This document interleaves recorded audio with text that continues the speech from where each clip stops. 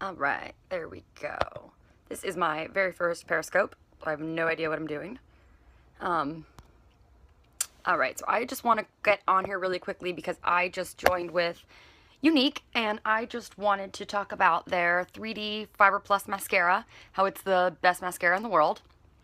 Um, I just wanted to go on and show you that it comes in two tubes. One is your transplanting gel and the other is your fiber or, or your fibers. And I was a little apprehensive to try these products at first just because, I don't know, it kind of sounded a little bit intense. It sounded a little bit hard and it sounded like something that would be a lot of work and something that I just wouldn't be into because honestly, if it's a lot of work, I'm probably not going to do it. If it's simple and easy, I'm probably going to do it. So it's actually really simple and I've got on my uh, Fiber Plus mascara now. So all you do is you take your bigger tube, your gel, which has the clear window to allow you to see when you're getting low on your gel.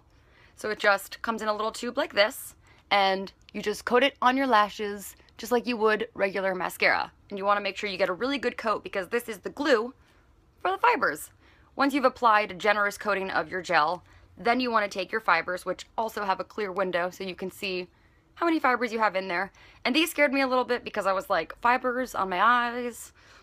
What are fibers and do I really want them on my eyes? And they're just actual green tea fibers. So they're made from green tea leaves. And you know in your tea bag you have like those little um, little pieces of tea. That's kind of what these are. And they just build on top of the gel. So you just, after you apply a generous coating of the gel, you put on a good coating of the fibers. And then all you want to do is seal it in with more gel. So then that's the glue and it's also the binding agent to make those fibers stick and build your lashes. And the best part about the mascara is that it's buildable. So I do one coat in the morning for work. Then on the weekends, if I know I'm going to be going out, I come home, I do another two to three coats of the mascara, and I'm good to go. And the best part is it comes off with soap and water.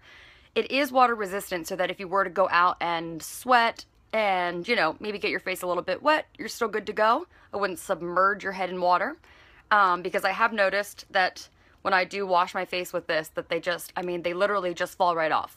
Um, so don't be alarmed if you see little black specks coming off because that's just the fibers coming right off. And I've also slept in my mascara a couple times because, again, I am a really simple person and sometimes taking off your makeup at night is just too much work. And I've slept in them. And you know when you wake up with mascara, you literally have those crazy raccoon eyes and it's like gelled and clumped. And when you go like this, it comes off in like flakes and it's kind of disgusting and I don't know, you can never seem to really get it off your eyes.